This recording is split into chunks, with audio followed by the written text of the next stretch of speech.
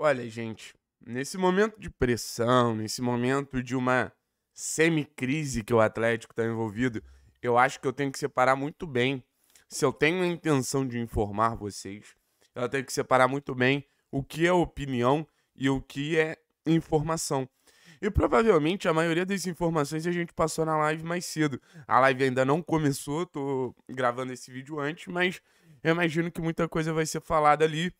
Então, eu acho que esse espaço aqui é um espaço para opinar sobre esse futuro do Atlético, sobre esse futuro do Paulo Turra, que eu não acho que vai ser um futuro longo. E repito, eu não acho.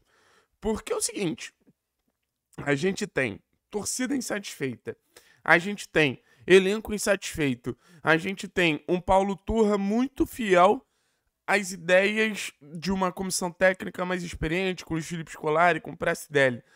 Então eu não vejo, do fundo do meu coração, eu não vejo como a gente pode pensar num fato novo pro Atlético. Como assim, Thiago? Um fato novo? Ué, da maneira que tá, não vai dar para seguir da maneira que tá, daqui a pouco o Atlético não se classifica na Libertadores, da maneira que tá, daqui a pouco o Atlético não se classifica na Copa do Brasil e entra numa situação complicada no Campeonato Brasileiro. Então, assim, precisa de alguma mudança. E eu acho que de alguma forma, essa mudança ela até vem contra o Libertar.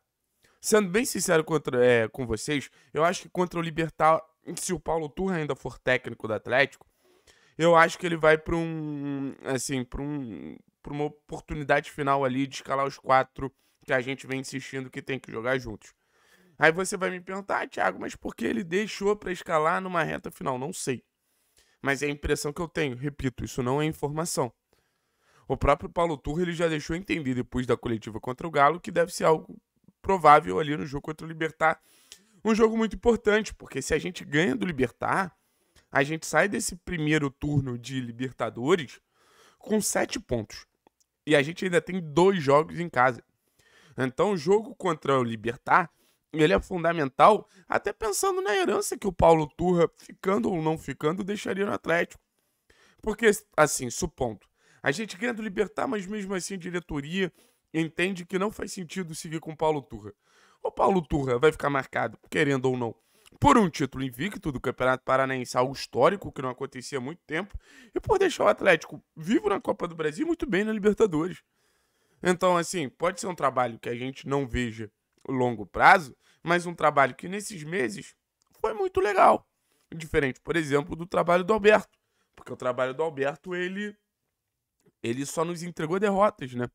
Ele, ele nos entregou uma situação complicada na Libertadores, ele nos entregou é, um, uma perda de classificação ali para o Curitiba no Campeonato Paranaense, ele nos entregou uma perda de Recopa.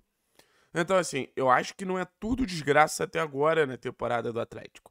Mas eu acho que o Atlético ele tem que pensar nesse longo prazo. Desde a semifinal do Campeonato Paranaense, que a gente já via a coisa mudando um pouco de cenário. Na final, foi algo bizarro de se ver. No jogo do título, não deu nem para comemorar direito o título do Atlético pela postura dos caras e tudo mais. Aí você tem um começo de campeonato brasileiro que ganha do Goiás e, assim, é uma vitória meio que óbvia. Dentro das possibilidades hoje no futebol brasileiro, ganhar do Goiás é uma das vitórias mais acessíveis, ainda mais jogando em casa. Como, por exemplo, o Inter foi lá ontem e ganhou. E vem de duas derrotas duras pra cacete, cara. Além da derrota contra o CRB. Assim, se tu for botar na ponta do lápis, não é um cenário de super demissão, assim, ah, tá na cara que tem que ser demitido.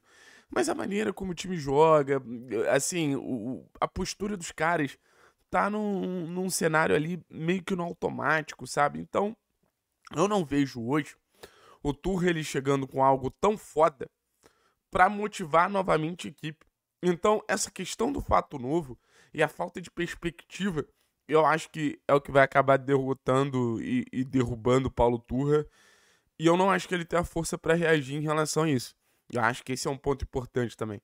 Eu não vejo o Turra com capacidade e força para reagir a um cenário que tem pressão de grandes membros ali da diretoria de futebol do Atlético, que tem pressão da torcida, que tem pressão do elenco.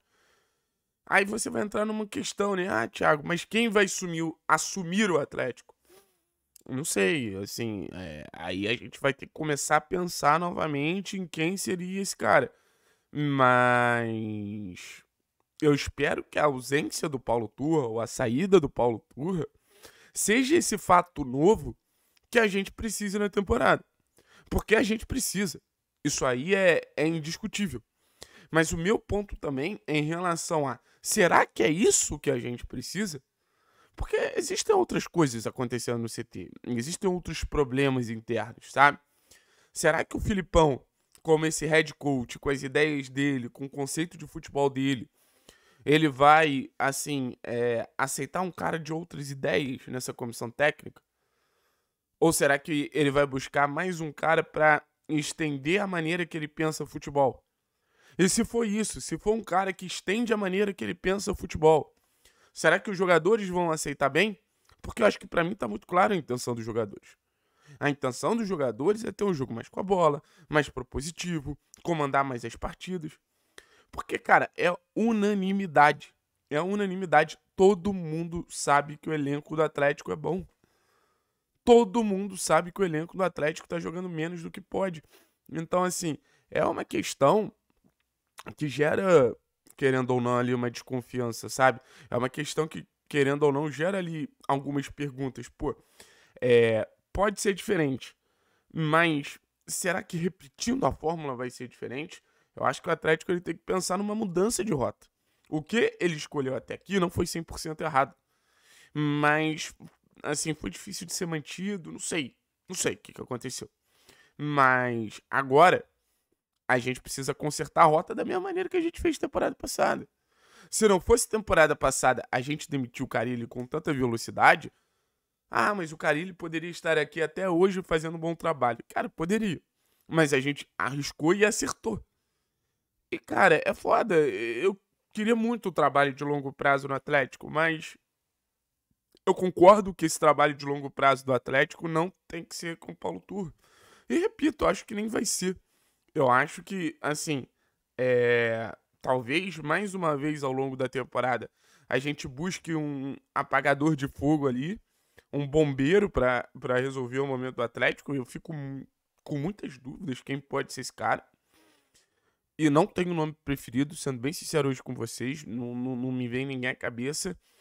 Mas que o Atlético ele, ele pense de maneira mais assertiva. Pô, esse cara pode fazer um trabalho a longo prazo, esse cara ele pode é, levar o Atlético a um sucesso longevo. Que eu acho que, querendo ou não, é, é o que o Atlético busca. É, anos e anos e anos de um trabalho, de uma fixação de ideias, de uma fixação de um modelo de jogo. E, e assim, eu ainda tenho muitas dúvidas se é esse o modelo de jogo que o Atlético quer perpetuar no clube, sabe? Eu acho que esse modelo de jogo é muito da cabeça do Felipe e, e não deveria ser um modelo pensando a longo prazo.